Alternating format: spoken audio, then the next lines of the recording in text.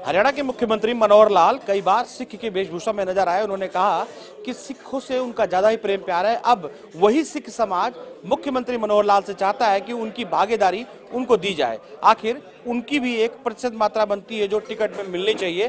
क्या है पूरी बात? यही जानेंगे। कितनी सीटों पर डिमांड कर रहे हैं और दरअसल क्या लगता है कि आपको सीट क्यों दी जानी चाहिए? हम दो तीन सीटों को हरियाणा में डिमांड कर रहे हैं।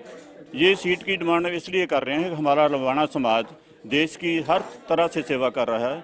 आर्मी में, एग्रीकल्चर में और विदेश में हमारे जो लोग हैं देश की अर्थव्यवस्था वास्ते जो पैसे इधर भेज के अर्थव्यवस्था को स्ट्रॉन्ग कर रहे हैं, काफ़ी योगदान पा रहे हैं।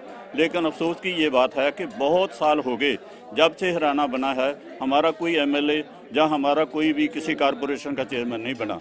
इसलिए हम सारा समाज रोष प्रकट करते हैं कि हमको प्रतिनिधित्व देनी चाहिए।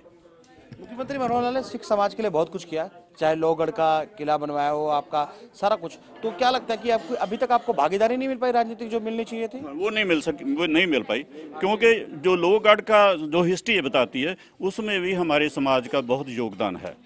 जब बंदा सिंह बहादुर की फौज में हमारे बहुत सारे नौजवान जो इस समाज के उन्होंने सेवा की है। लखी शाह बंजारा ने लोहगढ़ में बहुत सेवा की है, राशन की, हर तरह की सेवा की है, लेकिन हमें जब से हराना बनाया, हमारे समाज को तरह नहीं मिल सकी। आपने सुना दरअसल चौथे स्तंभ के थ्रू ये चाहते हैं कि सरकार तक, भाजपा तक इनकी बात पहुँचे और ये साफ़ तौर पे अंदाज़ा लगाया जा सके कि सिख समाज की भागीदारी कितनी है और उनको इस बार राजनीतिक हिस्सेदारी कितनी चाहिए। वीडियो जर्नलिस्ट सियाराम के साथ कुमार रमेश, आर नाइन चंडीगढ़।